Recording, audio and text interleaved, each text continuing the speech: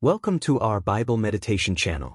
Today, we'll meditate on Matthew 5 verse 9, a verse from the Beatitudes where Jesus calls us to be peacemakers. Let's take this time to reflect on the blessings of bringing peace to others and how this act reflects our identity as children of God. Bible verse Matthew 5 verse 9. A. Blessed are the peacemakers, for they will be called children of God. Meaning of the verse. Matthew 5 verse 9 highlights the virtue of peacemaking, which is an active pursuit of reconciliation and harmony in relationships and communities. Jesus teaches that peacemakers reflect God's character and heart because God himself is the ultimate source of peace. Those who work toward peace align themselves with his will and are recognized as his children. This verse reminds us that peace is not merely the absence of conflict but the presence of God's love and justice. Application in daily life.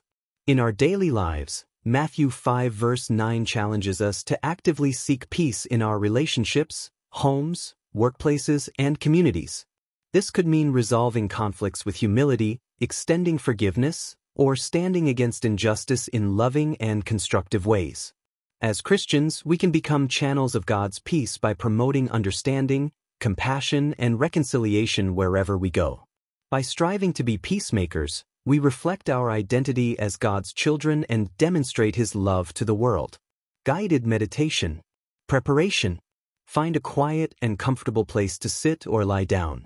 Close your eyes and take a slow, deep breath in, then exhale gently.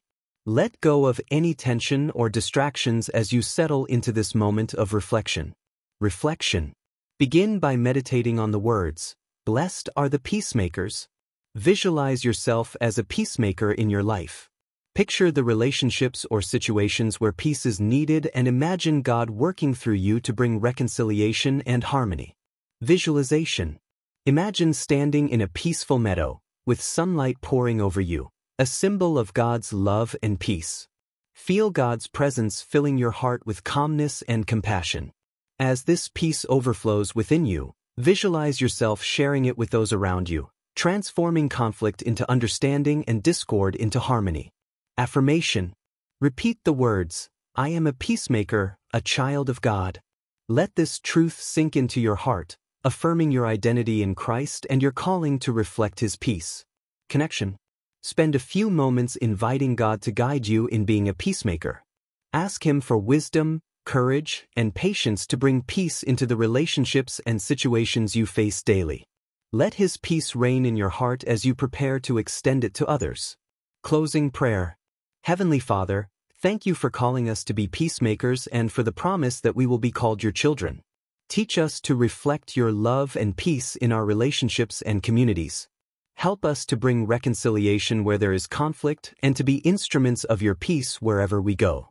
Fill our hearts with your presence so that we may share your peace with the world. In Jesus' name, we pray. Conclusion Thank you for joining us in this guided Bible meditation centered on Matthew 5 verse 9. May you leave this session inspired to embrace your calling as a peacemaker and to reflect God's love in every interaction. If this meditation blessed you, please like, share, and subscribe to our channel for more spiritually uplifting content. Until next time, may you walk in the peace of Christ and bring his harmony to the world.